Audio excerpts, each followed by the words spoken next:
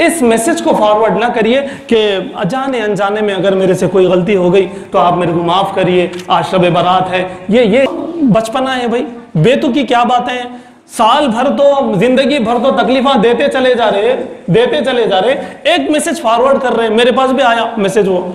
अगर मेरे से कुछ जाने अनजाने में गलती हो गई तो माफ़ करिए, आज शब बारात है, मेरे लिए भी दुआ करिए। ऐसा नहीं होता भाई। वहीं भाई, अगर आप आप मेरे को कुछ कर रहे हैं तो कुछ तोहफा लेके आइए। मिठाई लेके आइए। अच्छा तोहफा लेके आके पेश करिए, पेश करके बोलिए कि भाई, मेरे से अगर कोई गलती हो गई तो माफ़ करो। ये कोई बात होती। आप खाली एक मैसेज भेज दे रहे हैं। इससे क्या होता? अगर आपसे किसी के बारे में गलती हो गई, आपने किसी को दिल दुखाया है तो वाकई माफ़ी मांगने की चीज़ है, लेकिन एक मैसेज से कुछ होने वाला नहीं है।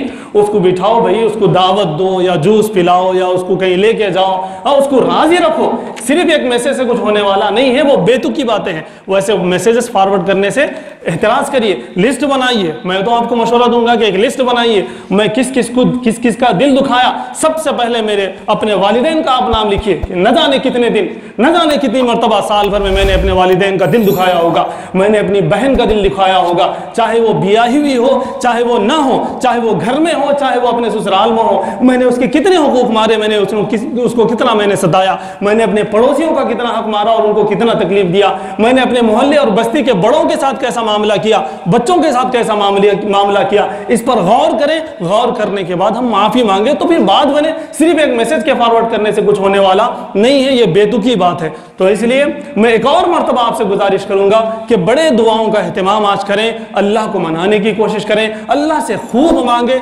आँसू बहाएँ तो इन हमारे लिए ये शब बारात पिछले शब बारात की तरह फेल नहीं होगी, बल्कि सक्सेस